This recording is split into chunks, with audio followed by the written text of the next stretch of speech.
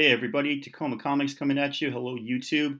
This is a subscriber contest for somebody that OMG Chris uh, got me into, Meg not Mog, and I'm sure in my American accent I'm mispronouncing both the name that she goes by and the name that she doesn't go by. But anyway, uh, just a really cool channel. She does a lot of um, unboxing of loot crate stuff and special deals and stuff. A lot of unboxing channel, all sorts of like geekdom, comics, pops, clothing and everything. So uh, she's a really cool contest. You know, usually ten and over is supposed to be in by today. Um, hopefully, with the time change, she'll let me get this in under the gun. Not the time change, but the time difference. Excuse me, guys. Um, so she's got a bunch of questions she wants me to answer. Uh, let's go ahead and do that. So my three favorite movies: uh, Monty Python and the Holy Grail, Star Wars. It's called Star Wars. It's not called Episode Four. It's not called A New Hope. I'm old. I'm bald. It's called Star Wars. It came out in 1977. I saw it in movie theater. That's not a brag. That's just an age labeling. Uh, my third favorite movie, Empire Strikes Back.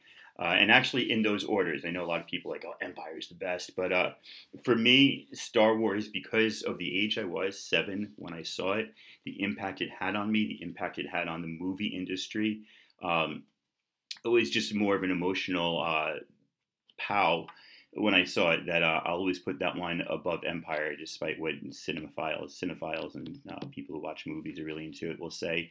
Um, Empire is a great movie too. Don't get me wrong. It just for me, Star Wars was like what started it all. Kind of started the direction of my life. Uh, three favorite TV shows: Breaking Bad. Uh, Got to go for Breaking Bad. Uh, number of similar ones up there. I mean, Better Call Saul is is whew, I, you know after the run's done, I might put that as one of my favorites, but I'll definitely go with Breaking Bad. Uh, Fawlty Towers, and let's tie that with the British version of The Office. I love TV shows that go for two seasons, only uh, six episodes each. That's kind of a nice way to encapsulate it all. And my parents are English. They turned me on Fawlty Towers when I was about 11 or 12. Um, I came downstairs from my bedroom one day and they were like cracking up and I'm like, what the heck are they laughing about keeping me awake? So they let me watch a little bit of the uh, the German guest episode. if you don't know what I'm talking about, go watch Fawlty Towers. You can grab them all on Netflix. You can probably grab them on YouTube, but why not go to Netflix and do it the right way and give some money where it belongs? Uh, and then West Wing. You know, West Wing. I used to be a social studies teacher. I teach robotics now, but uh, you know, the political intrigue um, in that show, the writing was just phenomenal. Uh, the acting was phenomenal. I'm going to try to sit up like this so you don't get the glare off my glasses. Uh, so The West Wing, clearly one of my favorite ones. And I'm going to throw a fourth one in there, uh, Star Trek Deep Space Nine. Um, throw a fifth one in there, Star Wars Rebels. And I'll stop now or I'll go on forever. Uh, my favorite food, Meg, is sushi. Um, why? Because I love sushi. sushi, sushi, sushi. Uh, no, I um, I like the variety. I like the the healthiness of it.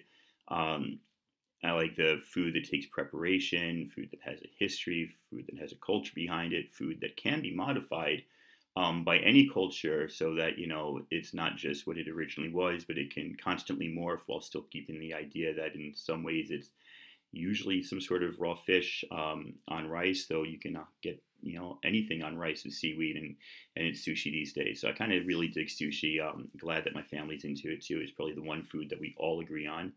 Uh, and what would I like to see made into Funko Pop and into a, a TV show? Or I think it was what do I want to see made into um, another form? So I'm going to say Locke and Key. I know the TV show's coming out. I'd love to get some Locke and Key pops. That would be really cool.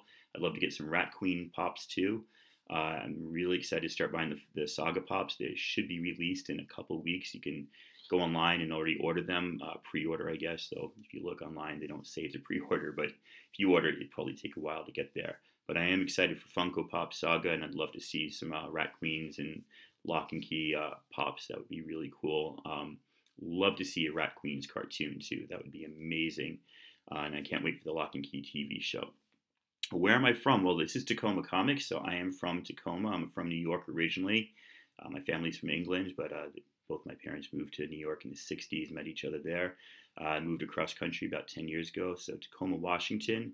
Um, and I am Tacoma Comics on uh, Twitter and Instagram. And my favorite quote, I got a thousand of them, um, mainly from Star Wars and Holy Grail, my two favorite movies.